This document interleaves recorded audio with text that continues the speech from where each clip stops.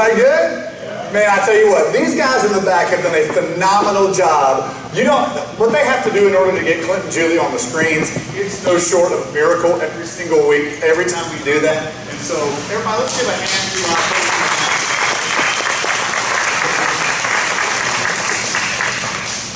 Man, it is awesome to get a chance to see each and every one of you. I love getting to do it. I did want to say Happy Father's Day uh, to you guys that are in the room. They get to the privilege of getting to say uh, say that you are a father tonight. I know tonight, you know, just like Mother's Day, it's one of those nights that comes with all kinds of different emotions, all kinds of different things. Some things that are good, some things that are bad, some things that are full of joy, and some things that are full of hurt and, and difficulty. And so I want to just take a moment and just acknowledge all of that.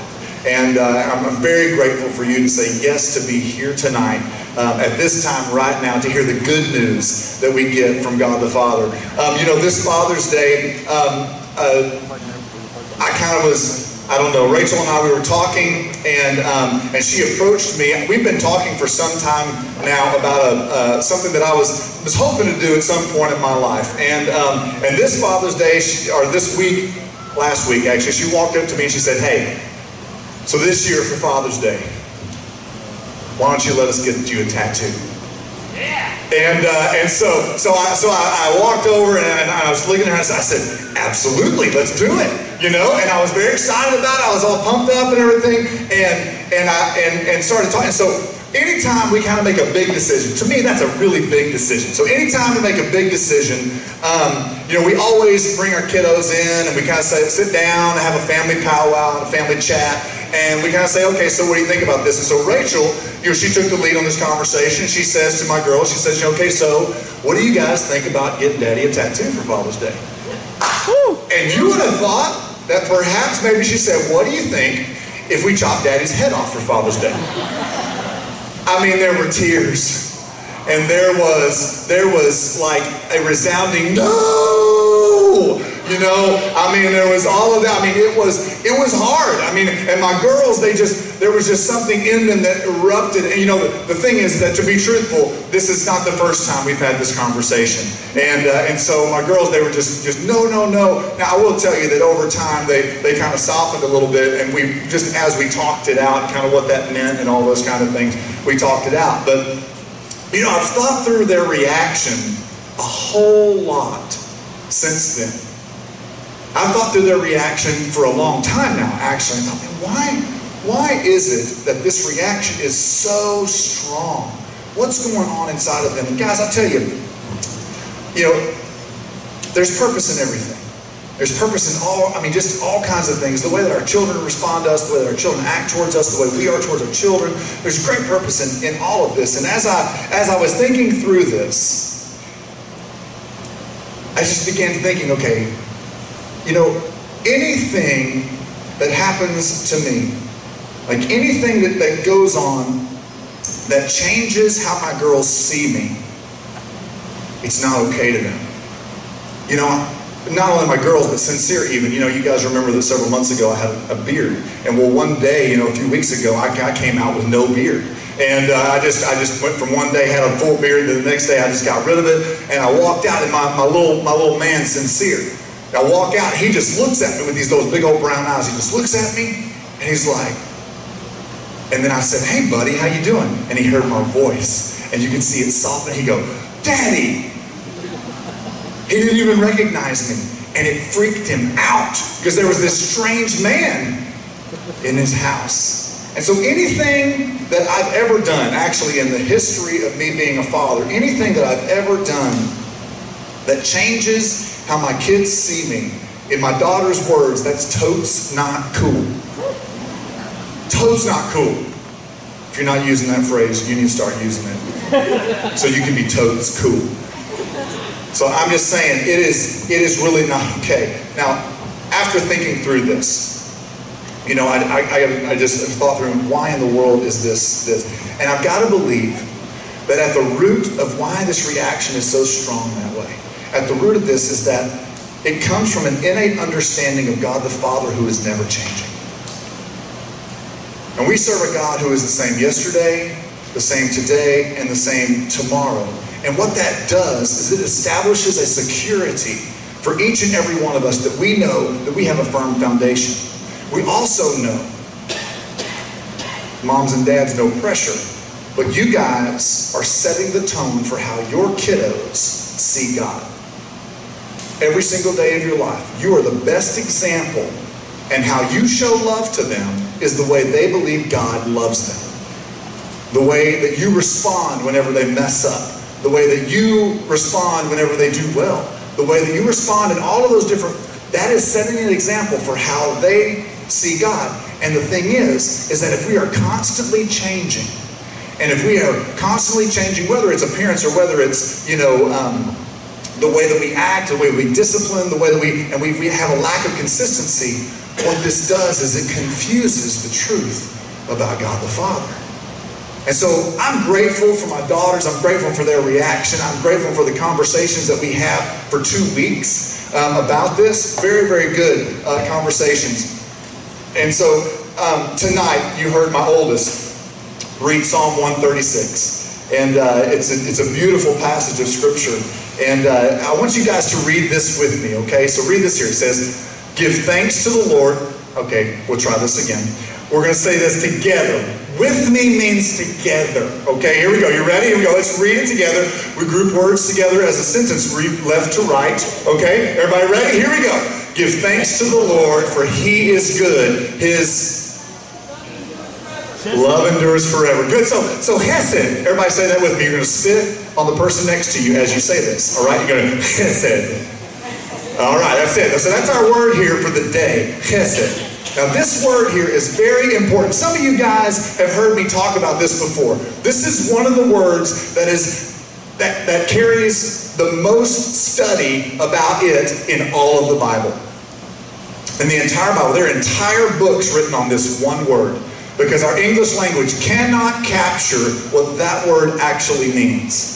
It has a very difficult time with this. And this word, in and of itself, specifically, means unconditional love. Is probably the best way we can say it, but actually, perhaps even a better way for us to understand it, because love is one of those things in our culture that we struggle understanding. We struggle understanding what the definition of love is. And so perhaps maybe the greatest word that we can use for this word in our language is loyalty. His loyalty endures forever. And with that, this word carries a duality. It carries both his towards us and ours towards him. And so there's this loyalty that, that he has for us that no matter what happens in our life, no matter what we do, no matter what we don't do, no matter what's going on, he is loyal to us forever. And consequently, what he longs for is us to respond in that same way because his loyalty is what is actually driving us. Here's the challenge, though, guys. The challenge is this can be really hard to grasp. This can be really hard to grasp. This unconditional love, this loyalty can be really hard to grasp because of one big roadblock. One big roadblock. And today, tonight, there are many of you guys that are here, and you are continually struggling with guilt, with condemnation, with shame. Now, there's no doubt that some of that is a result of your choices. Some of that is a result of the, the, of the poor choices that have been made, and, and so therefore you're carrying some of that with you. However, mostly that is carried because of how your father showed you love. Can you believe that? Whether he was non existent, whether he was existent every single day, the way you handle guilt, shame, condemnation, struggle, all those things is directly connected with how your father showed you love. And so tonight, tonight I really hope that through Jesus Christ, you guys are able to be set free to live a life that is immovable by anyone other than the Father God. That through Jesus we are able to live this life that is immovable by anybody other than the perfect Father, the Father God. Tonight I have this extended video. It's going to take 11 minutes. This is a very powerful video, so you guys tune in, okay? It's called the Father Effect. So you guys check this out.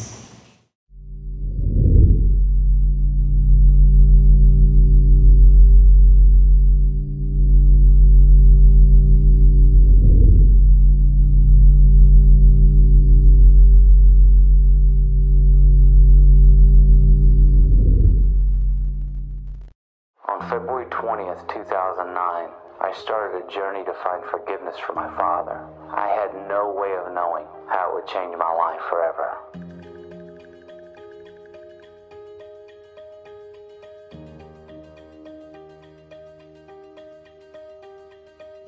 A few years ago, I was playing golf with a friend of mine, and I was sharing with him some of the struggles and trials I was going through at the time. And at one point, he turned to me and he said, You grew up without a father, didn't you? And I said, Yes. And I went on to give him this great 10 minute explanation about how incredible my mom is. As soon as I finished, he turned to me and he said, But was she a dad? It was at that point that I really began to understand the significant and lifelong impact of growing up without a father. My friend went on to explain the idea of a father wound. He said that many people are wounded by their dads because of their dad's words or actions. Maybe it's a girl who's become promiscuous, never hearing the words, I love you from her father. She's willing to do anything to hear them from a man. Maybe it's a son who feels angry, unworthy, or ashamed because of a dad who is physically or verbally abusive, which leads the son into an addiction to cover up the pain. For 30 years, I thought I was the only one struggling with this issue and that I was all alone. As I began to share my story, I soon came to understand that there are millions of people suffering from a father wound.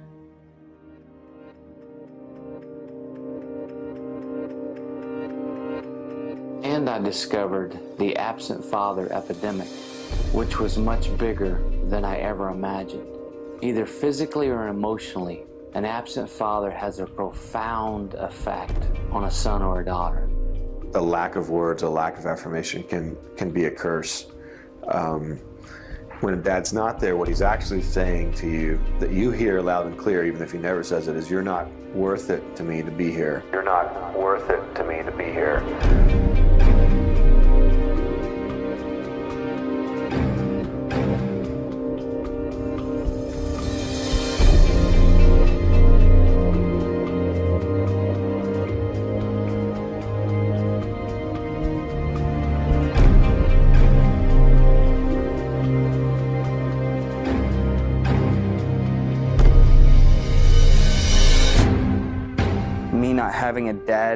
Excluded me really believing in anything, believing in anything bigger than me.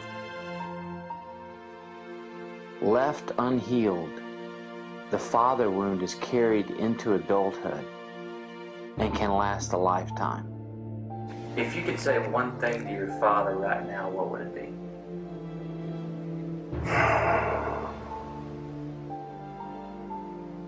Why couldn't you uh, tell me you love me? Because I grew up with a father who was violent and angry and unpredictable, who was scary. I thought God was the same way. Because I grew up with a father who was to be feared, I thought God was to be feared. My decisions became fear based. Marriage, because I was afraid to be alone. I wish that my father could have loved his children more than his love of gambling. Because no matter how much he maybe did love us or said he loved us, obviously his addiction to gambling meant more to him. It's related to the abandonment. It was related to the sense that I took on as damaged goods. Okay, if my dad isn't here caring for me, there's something inherently wrong with me. So I took that with me into the beginning of addiction. I can honestly tell you, I don't remember a time early on that I was doing it for party's sake. The instant that it hit my system, I was like, I'm home. I don't feel nothing but good. And all those voices and all that inadequacy, all the shame, all the invisibility, all those things were gone. They were gone.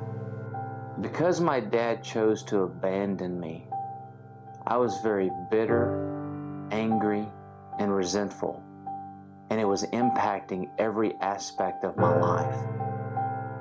Well, men struggle at being good fathers because they don't know what a good father is supposed to be. They haven't been taught. Um, you can only give what you have. And so, most of us as men, not having been taught properly, just do what we kind of think is right. It seems kind of right, but not sure if it's right. But well, heck with it. I don't have time to do anything else. Let's do this. My dad never knew how to be a, a father. He never knew how to be a man. Um, his father was killed uh, when he was two um, so he wasn't there. And his stepfather um, died not too long um, after he married my grandmother. Um, um, my dad just really never had a chance. Um, he never had a father figure there.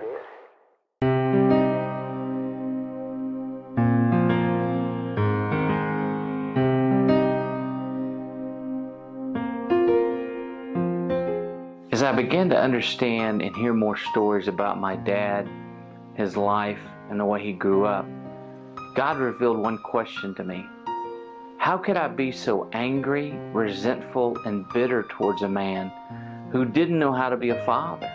God showed me forgiveness from my dad, and it was because of that forgiveness that I finally became the man, the husband, and the dad that God meant for me to be. I get to the hospital bed and my dad is completely passed out. And I grabbed his hand. I knew I needed to say it then, and I couldn't even repeat the words that I said. I just know that I, it was full of love and forgiveness and, and wishing him the best. And when I turned around, the nurse had walked into the room while I was talking to my dad, and she was just full of tears. And she said, "I, I just didn't want to interrupt you to tell you that he passed away an hour earlier." And I said, you know what? I didn't do that for him. I did that for me. And, uh, and I did. It was important for me to truly forgive him in my heart. It's the best thing I've ever done. If you could say one thing to him right now, what would it I forgive you. I said to myself, I forgive you. And I did it from the heart.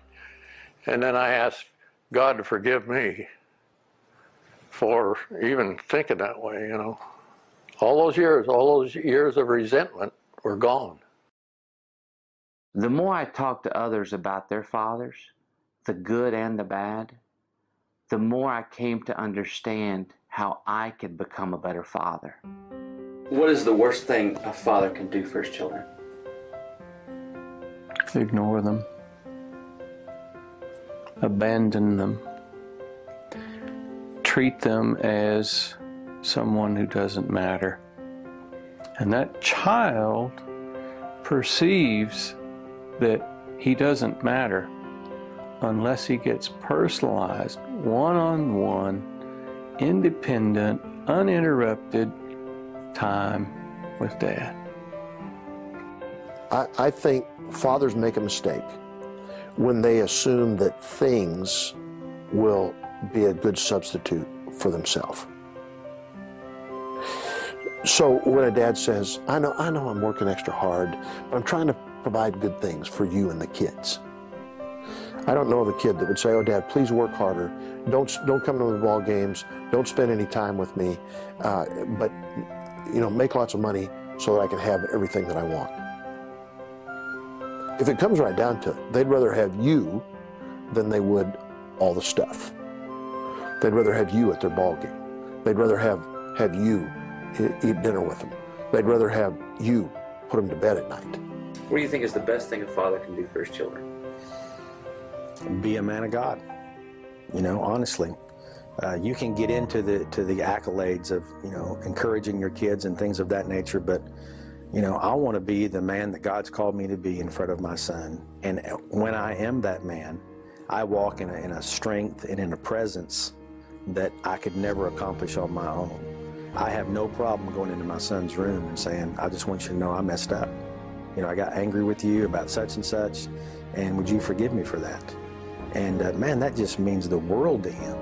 as children are constructing their understanding of the world, the dads occupy a very central role in that understanding of the world. And their behavior is so critical to giving the child a positive sense of what a good father is and what good male behavior is. The best thing a father can do for his children is love their mother. But for a child to see his father love their mother, something happens in that that that child receives that, that, that centers their life. And my dad was not perfect. He had issues. He struggled with stuff all of his life, and he didn't have a good influence in his life. But essentially, my dad broke that chain and, and raised in me. And now, praise God, I'm raising my kids differently. Do not be afraid. Never parent out of fear. Um, you know, love your kid the best you can. Don't try to be perfect. Keep moving forward.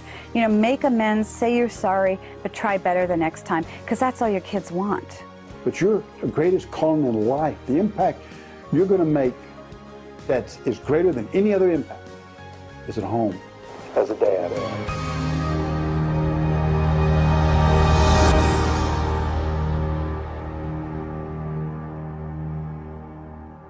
There is nothing you can do that will ever make me love you any less. Nothing you that will ever make me love you any less. You see, this truth, it is the unchanging truth of God the Father's love for us. There's nothing you can do that'll make me love you any less. And God the Father loves us unconditionally. He's loyal to us. He has a he has a, a white hot passion for us to become who He sees us as.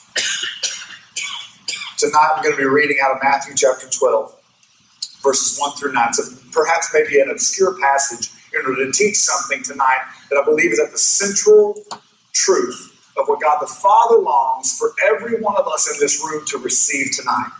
Matthew chapter 12, verses 1 through 9. I'm going to be reading from the New Living Translation. It's a little bit more story form, so we can we can understand it maybe a little bit better.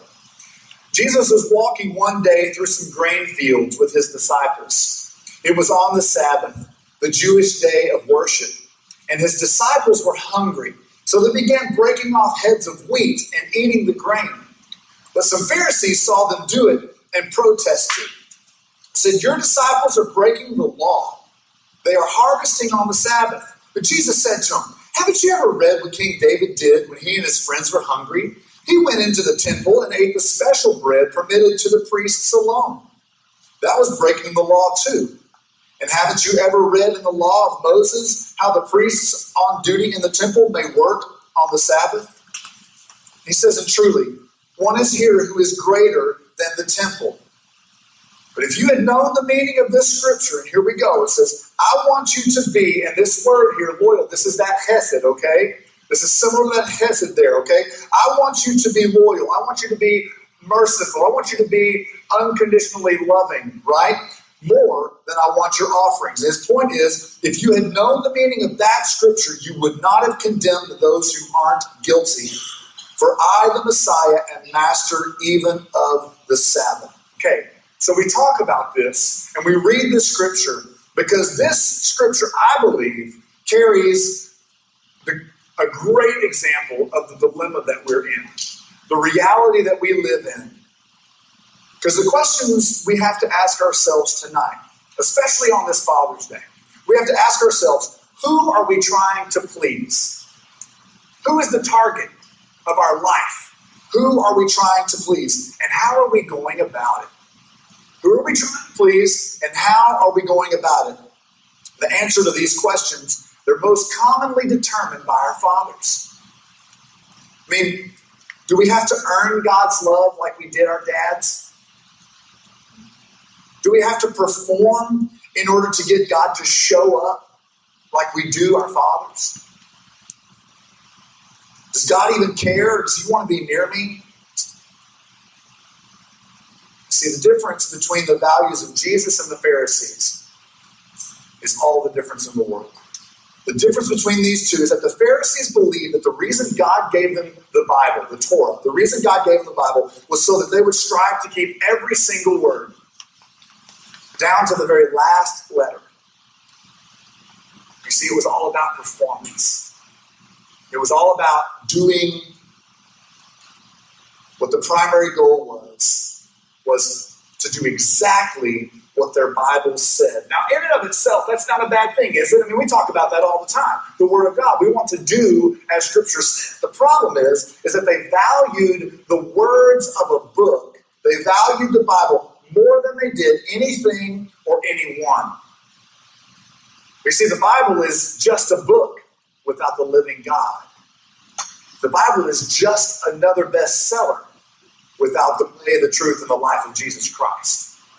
So if you follow the Bible blindly, you're going to be led astray.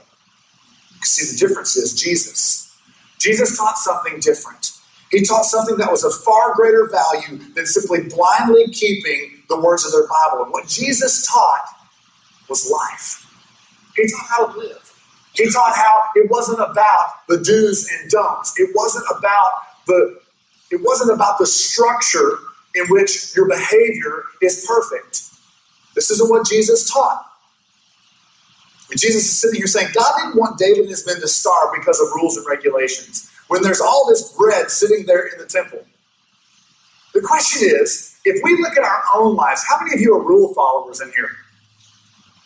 How many of you push against the rules any chance you get? Absolutely. See, rules are the things that's just crazy. As we look at this, how many of you it would be very difficult to do what David did and to go eat the bread that was in the temple that was known and consecrated only for the priests? How many of you would have a difficult time doing that? Yeah, how many of you would go, dude, I'll munch down on some bread. Let's go get it. Yeah, sure. Isn't that amazing? In the same room, we can have complete opposite realities. And the folks, you guys that are raising your hands, we all are we, pushing hard after following God. Isn't that the most bizarre thing in the world? We're pushing hard after this. Believe it or not, Jesus believed that David was engaged in an act of righteousness in that moment. Now, for us rule followers in the room, I'm one of you. So, for us rule followers in the room, I look at that and go, uh uh-uh, uh, that wasn't righteous, that was sinful. That's what that was. That was downright Sodom and Gomorrah, pit of hell, sinful. They're going to get struck down, burned, lightning bolt to the rear, something. You know? Something's happening like that, right? I know some of you guys are with me. Other folks are like, dude, what's the big deal? The fact of the matter is, Jesus believed that he was engaged in an act of righteousness. And in Jewish law, this would be called a mitzvah, which was this would be called a commandment. It was actually a commandment for David to choose the choice that he made. You know why? Because life trumps everything. Life trumps everything. This is not a sin. The fact of the matter is, we tend to be controlled by rules. And we have to be careful of this. Either we're controlled by the fact that we have to push against them, or we're controlled by not being able to think outside of them. The bottom line is we are controlled by them.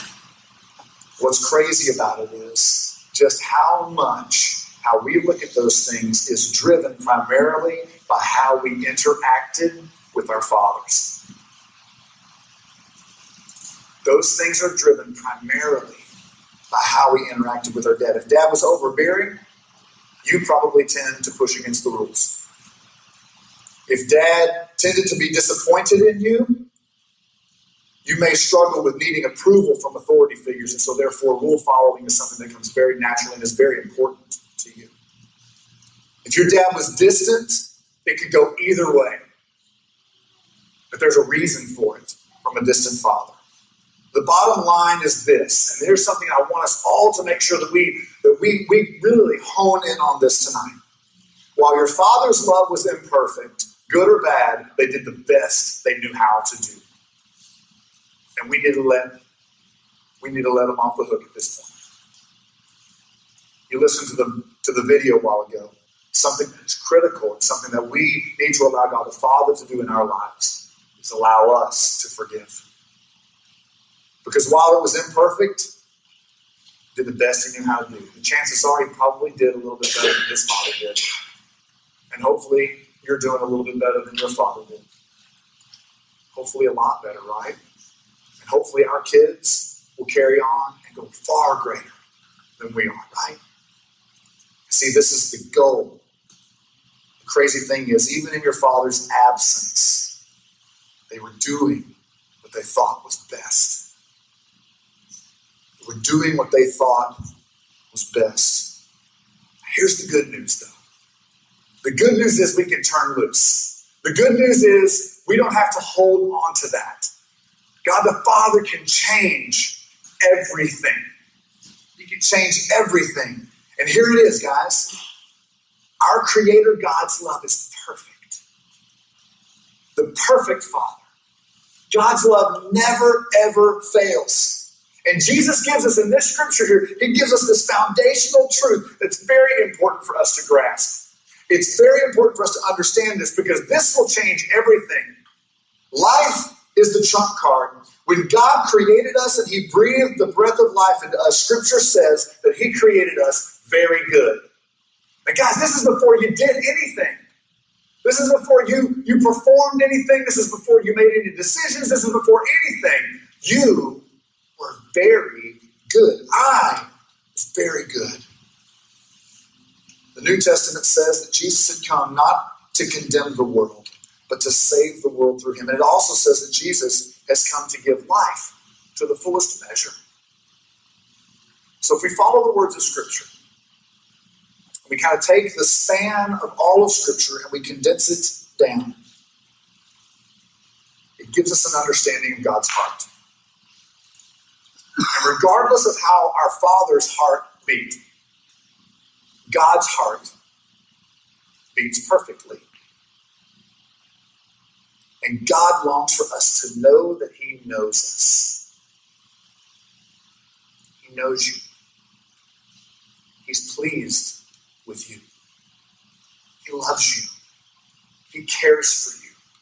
He wants to be near you, regardless of what your reality is, regardless of how you act today, regardless of how perfect you are, regardless of how imperfect you are. He is loyal to you, and He sees you as good.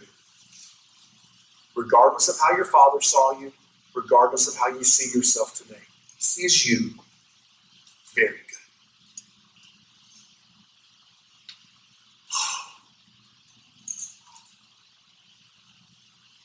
This is something we take in. This is something we receive. God the Father longs for us to complete the loyalty. He longs for us to know Him through Christ. Not only to know that He knows us, not only to know that He thinks we are very good, He longs for us to know Him through Jesus. See, guys, this is God's perfect love. This is it.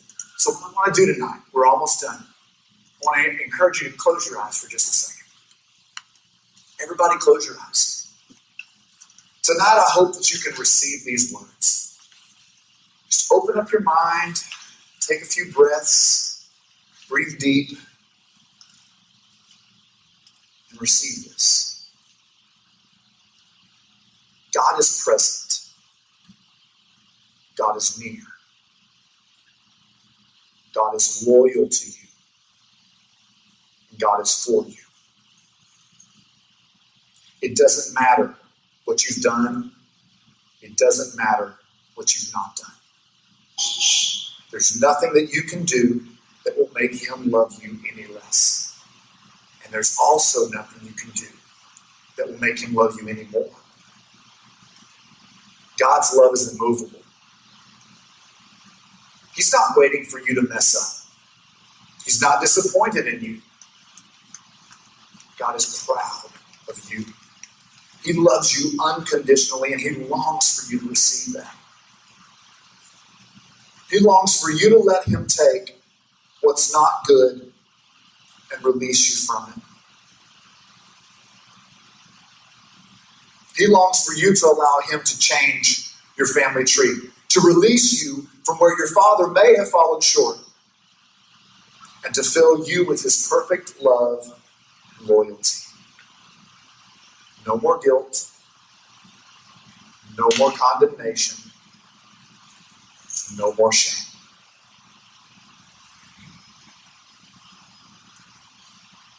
Allow God to cover you with His perfect love.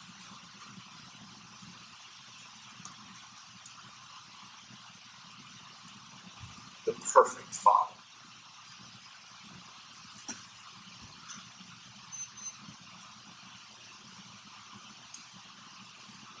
All right, you can open your eyes. Now, you guys, on this Father's Day, there is nothing more important for us to receive. Nothing. Tonight is not a night for you to feel bad about how well you've done or how, how not well you've done. Tonight is a night about the fact that you are good. You are very good. God sees you that way. We've got to rest and receive that. We don't have to perform. We don't have to be perfect. We exist just the way we are. He loves you. Isn't that nice? Now, the challenge tonight, the challenge for us, and dads, I want to speak to you for just a moment. The challenge tonight is to allow God's loyalty, to allow that truth, those words there that we just received, that we just allowed God to speak into our lives, to then allow those words to flow through our lives. To allow those words not just to rest in and of our souls, to give us peace and rest, but to allow that to flow in and to flow through us to our spouse. To allow that love to flow into our children. To allow that love to flow to the person in the next cubicle, to the person across the hall, to flow in and through us to the person we're going to knock on their door for a business call this week. To flow in and through. The challenge is to be present. The challenge is to be near to be loyal. The challenge is to be for your wife, to be for your children, no matter how either of them or all of them perform. The challenge is for God's love in us to be immovable, steady, strong, and for their families to know and feel that there is nothing they can do that will make you love them any less. Nothing. Nothing. Nothing. They don't perform to get your love. Your love is immovable. Just as God's perfect fatherly love is immovable. Now, here's the cool part kids, wives, give the men in your life the opportunity. Give them a chance. Let them love you like that, and you don't think it's too good to be true, or you throw it back in their face. Let them do this for you. Let them receive from the Father and give to you from the Father. And give them the freedom that they don't perform for you either. It's a two way street. It's loyalty. Because brides in the room, you're just like us in this room to your husband, as we are to God the Father. We in this room are God's bride. And as God longs for us to return his loyalty unto him, your husband longs for your loyalty to be returned to him unconditionally. No matter if he deserves it or not.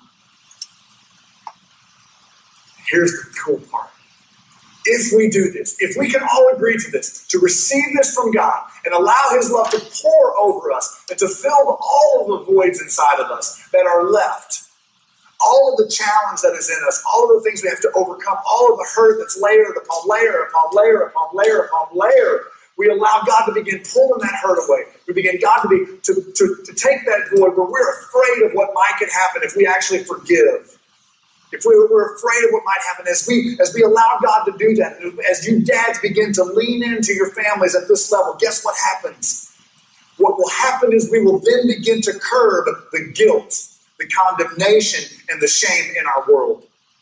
It's not just something that is that's freeing for us individually. It's not just something that's freeing for our families. We will begin to curb the guilt, condemnation, shame all over our globe. And we will begin to raise up a, a new generation that is living a healthy and full life.